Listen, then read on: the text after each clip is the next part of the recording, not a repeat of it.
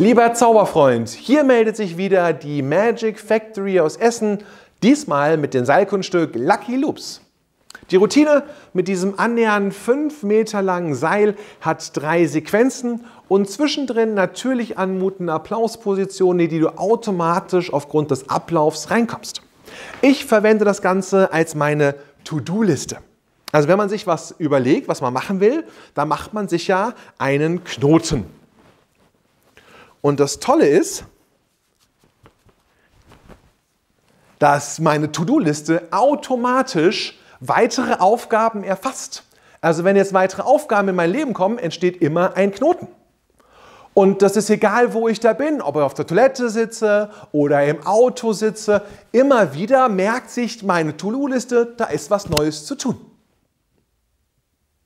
Und dann muss ich natürlich die einzelnen Aufgaben auch abarbeiten. Ganz wichtig ist dabei, dass es eine runde Sache wird. Dass ich also die Aufgabe voll und ganz erfülle und der Sinn und Zweck dieser Aufgabe durchgegangen ist.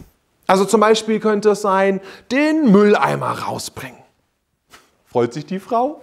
Es kann natürlich aber auch etwas Berufliches sein, den Kunden anrufen.